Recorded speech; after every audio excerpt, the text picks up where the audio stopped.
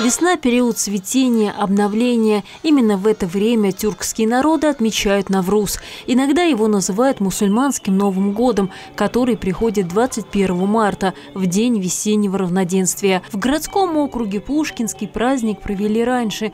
На нем собрались не только жители, но и гости со всей Московской области и Москвы. Вы знаете, это мероприятие на самом деле проходит в непростых условиях для нашей Родины. Есть, вы знаете, и внешние силы, и внутренние, которые хотят расшатать, разбить, уничтожить нашу Родину. Но ничего у них не получится, не выйдет у них этого. Наша Родина была, есть и будет великой страной и державой. Символ праздника – семени, проросшая пшеница, перевязанная красной ленточкой. Всем почетным гостям праздника организаторы дарили именно этот символ прямо на сцене.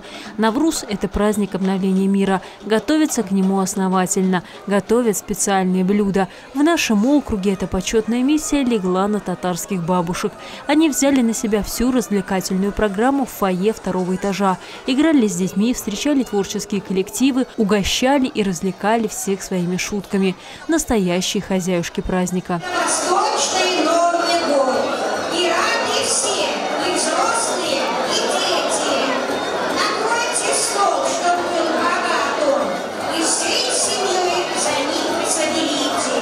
Домашние сладости на любой вкус. Их делали представители азербайджанской и татарской диаспор. А еще представители таджикского народа приготовили огромный казан плова и угощали всех гостей. Было сладко, сытно, красочно и весело.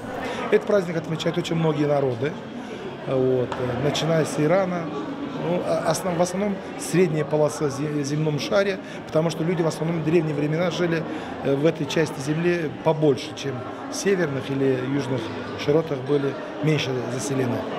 Вот, соответственно, вот э, накрывается стол, люди ходят друг к другу в гости. Навруз Байрам – праздник надежды искренней веры в то, что вместе с природой обновляется и сам человек, в то, что главный дар весны для каждого – шанс начать все с чистого листа и сделать это в мире и согласии со всеми народами, независимо от конфессий. Анастасия Спирин, Антон Орловский, Яков Глейзер. Новости Большого округа.